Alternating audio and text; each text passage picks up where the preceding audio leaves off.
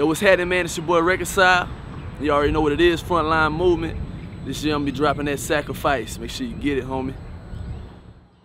Reconcile, man. Uh, I remember just, you know, God was rocking my world, man. And I was looking through the Bible.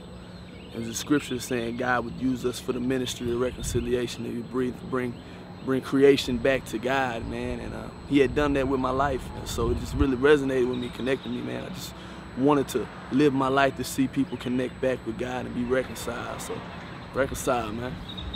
Yeah. Sacrifice, man. When you when you think about when you think about sacrifice, I remember when I was coming up with what I'm gonna call this, and uh, sacrifice just just kept punching me in the, in the chest. It's like, man, my my living situation at the time, man, finances were tough. You know what I'm saying? I was going through a lot of stuff where I had to sacrifice my marriage. You know, I needed to sacrifice and do more there, and just like kept constantly coming up, man. If you're gonna live for Jesus, you're gonna have to sacrifice. You might have to suffer and you have to sacrifice, but it's worth it. And then when you, when you think about, man, all that, that Jesus has done for us, you know what I'm saying? You know, what, what would your life's response be to the sacrifice that he's made? And so that's kind of the tone I wanted to take with the album. I wanted to communicate that. Uh, one of the things I, like, I, I, hope that people see in this album is that uh, it's, it's, it's really reflective.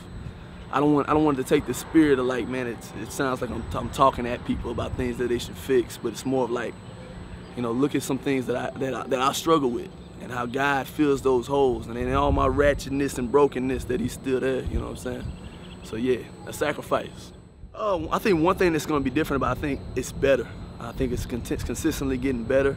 I feel like uh, the storytelling's stronger. I feel like, um, you know, some of the things that we tried to tackle um, and doing it, just, uh, you know, the, the, type of production that we were taking on, it's really like, uh, it's hardcore, man. It's good. Like the, the, uh, one thing I, that I, I, hope that we try to make a difference from the last project is that uh, you know we really wanted to make sure it was mixed well and mastered well. You know what I'm saying? That that comes with money. You know what I'm saying? If you don't have bread, it's, it's hard to do those things. But it's just I feel like we we stepped it up in every area and we try to really hone down on the details. Uh, you know, to do a good job. Yeah. Consistency. Man, so uh, on the album we got uh, Mr. Incredible, of course Mr. Incredible, Mr. Never Would Have Made It. We got Incredible on the album. Uh, we got uh, Juice, Big Juice on the album, and there's a lot of gang of dudes. One thing I, I, think is cool that we did with the album is, man, we reached out to a lot of producers, um, and a, a, lot of them in city, in the city of Houston, and a lot of them abroad, man. And we just, you know, you know, we just upfront about the type of music that we were doing. You know, we love the stuff that they had did. We said, hey, man, you know, um, this is what we do.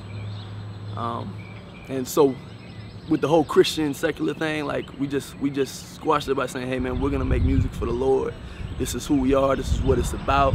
We would love to do work with you. And that's how we just continue to build relationships. And it's dope because dudes will be like, yo, man.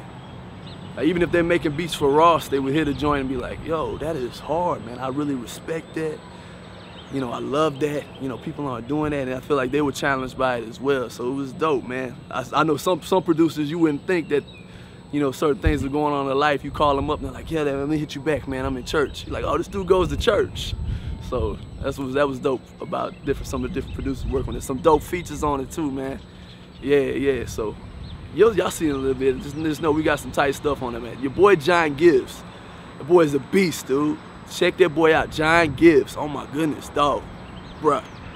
Bruh. Let's go.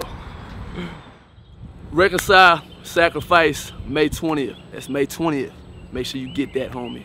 Let's let's let's let's be challenged to live for the Lord. Make a sacrifice.